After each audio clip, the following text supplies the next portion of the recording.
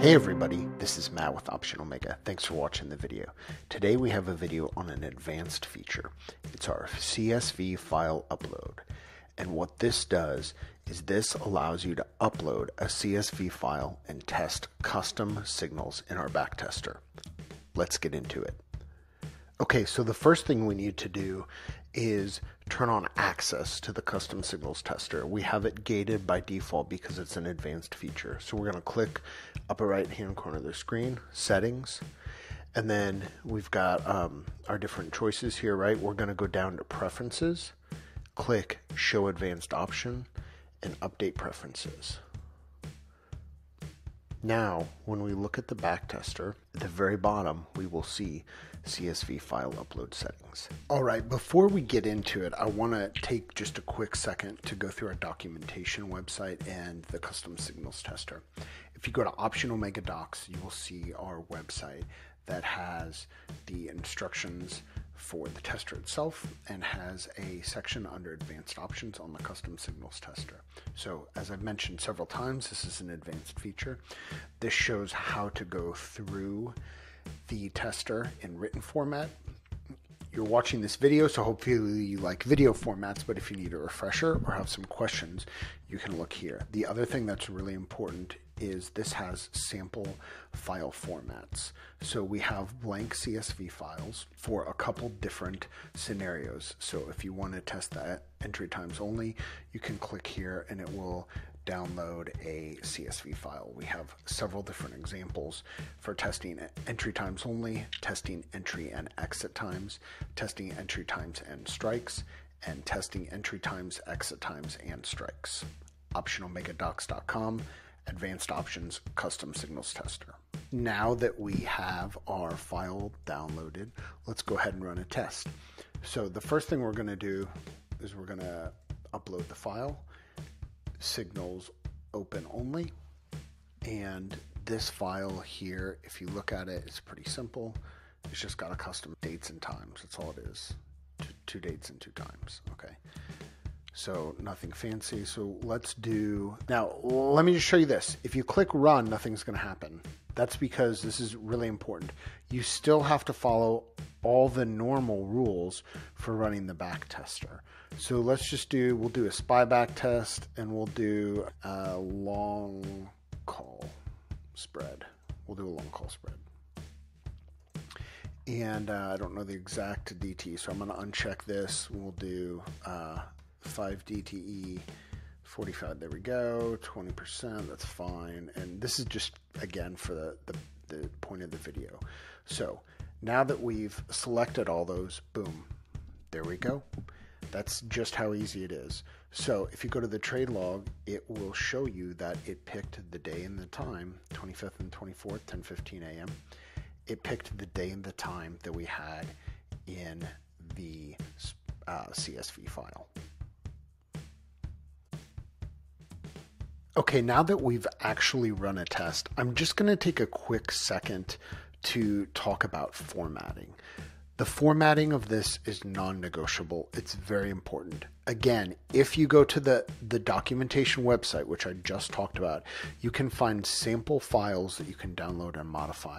But we have a great help community. We'll help you figure out the backtester on our Discord. Every day we answer questions we're not really here to help you manage a CSV file. This is, again, this is an advanced format. Not to say we won't take a quick look and try to help you, but this is the format that you need to, to choose to get the custom signals tester to work properly. Okay, we tested a bunch of different ways. This is the this is the cleanest and easiest way that we found. So if you look at the the bottom of the page on the documentation website, you will see the headers and the cell formatting that you have to have. And it's pretty straightforward, but the date and time must be in this exact format. They must be in that format. You have to have these headers, you have to have this exact formatting. So it's it's self-explanatory if you look at it. It's just, it's really important. The signals tester will not work if you do not have the formatting done correctly. So, just a brief moment before we look at another example. All right, let's look at another example of the tester. And what I'm doing, again, I'm on the documentation website, which is at optionomegadocs.com. I'm just going down through the different use cases, the different ways we can use the tester. So we've already done testing entry times only. Let's do testing entry and exit times. I'm going to grab the CSV that's here. And again, all we're loading in is the open and close time. That's all we're loading. Okay. So, uh, again, this note highlights it, but the normal selections you have to make for the backtester are still required. And this choice of testing entry and exit times is going to be selected by choosing the first two toggles on the CSV file uploading settings. So the first two toggles. So let's go here and uh, let's let's do one in IWM for variety. We'll do take off exec DTE and if you notice, I've, I, I have the file uploaded. I've got the first two boxes checked. I don't have all my op, my choices here because it already has the exit time. Okay, so we're just going to click run. that is so fast. Uh, the devs really worked hard to make this super fast uh, for signals testing, but as you can see, this worked just fine. Um, and uh, got another winner here. But here is our uh, successful trade, as it was, um, with a 17% drawdown. So um, again, this is this is just to show you the tester. I'm obviously not recommending this trade, but um, we selected uh, IWM, we selected what we wanted to trade, and then we used the custom signals tester to choose the entry and the exit times. So that's another way that you can use it. Okay, we're going to go to our next use case. So this is going to be testing entry times and strikes. So this is going to have the first and the third toggle checked on the tester. So we're going to go back to the tester. Uh, we will check the first and the third. We're going to upload our file. And this file, if we look at it, is buying call. Okay, so we can tell that from the strikes that this is not going to be good for SPX. So let's do this in SPY. And uh, we will do a year to date test with SPY. And let's take 20% profit, 20% loss. And again, you know, normally I would go through here and put all these things in it, just, you know, um, these kind of things right here to beat up the test a little bit. So we'll do that and show you that it works just the same. Boom, here we go. Um, so uh, if we click on the trade log, we can see that it did exactly what the CSV upload told it to do. We just did the two trades. There they are. That's what we bought.